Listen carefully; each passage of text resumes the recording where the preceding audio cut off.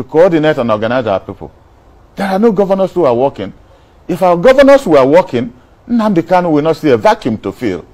That is the problem. We look the, the we leave the main problem and start talking about uh, you know declaring sit at home. Why shouldn't they have the sit at home? If people don't want to sit at home, does anybody go to harass them? Even since they made the announcement, people should be going to work. Out of fear, people still sit at home. They have made it known that it's only the day they will take him to court that they will ask people to sit at home. And I tell you, people are gladly sitting at home. They are not gladly sitting at home. I've sampled a, a, whole lot of opinion. People think that the economy of the Southeast is being battered. How do we, that, we, we, can, we can afford to lose that to make a point? That's the only way we can make a point now.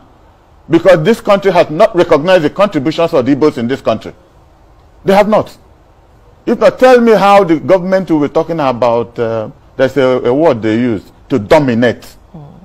That he has issued instruction to the military to dominate Anambra State during the election. Do you know what dominate means? Overwhelm, intimidate. That is even more serious than what IPOB is talking about. Because now most people will not be prepared to come out, seeing rows and armored tanks and everything moving around. Because that's the meaning of dominate. We know security is important, but to use the word dominate, which the National Security Advisor re-emphasized. And to start with, we are talking about discrimination. Do you know, the National Security Council just met and took that decision. In that National Security Council, not one human being from the whole of former Eastern region. Not one human being. That is part of what Nnamdi Kanu is talking about. Injustice, lack of inclusion. Not one human being. Because we are not in the... But, but Chief Dan, just a second. We are not in the service, uh, any of the service distance. We're not security advisor. We are not chief of staff. We are nothing. They couldn't even invite. They have two lucky lackeys in the, in the southeast. They could have called the governor of Imo State to come and tell them theoretically what is it that is happening as a basis of their decision taken. So in the National Security Council, where the decision was taken to dominate Anambra election, there was no Igbo man there, not one. You knew I was, uh, uh, what do you call it? I was kidnapped on the 26th of yes. last month. Yes. And held for about three, four hours before they released me and took my vehicle and every other thing.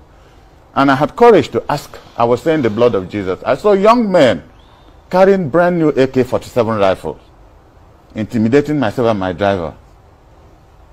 And I got annoyed. I said, God, i am above 70. I've lived the better part of my life.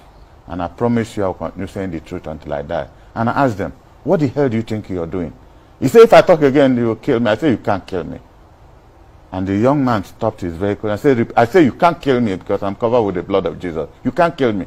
I said, 50 years ago, I was almost a major in Biafran army. And he, he almost wept. Oh God, did you serve in Biafran army? I said, yes. If we knew this, we wouldn't have taken up this job. The problem is coming from your own environment. If we knew that you helped to save our people, and I almost wept. And they said, nothing will happen to you and your driver. And they dropped us off. About 30 minutes after that, they told us that most of the violence were imported, that they are being paid to go and destroy their own properties from outside, so that they create a problem as Igbos are doing something wrong. Our people have value for life.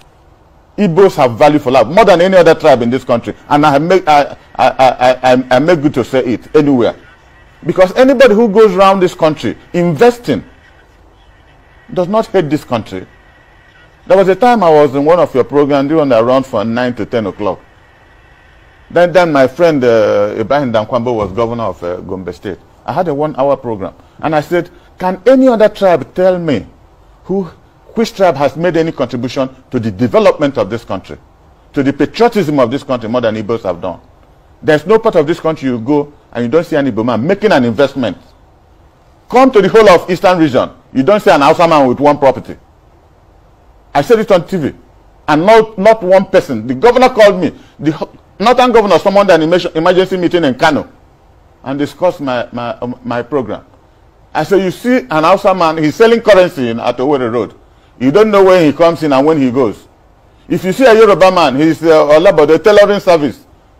They won't even buy an empty land. But an Igbo man comes to your place, buys land, develops it, make sure they build a school. Igbo State Union build a college in Kano in the 50s that everybody was going to school.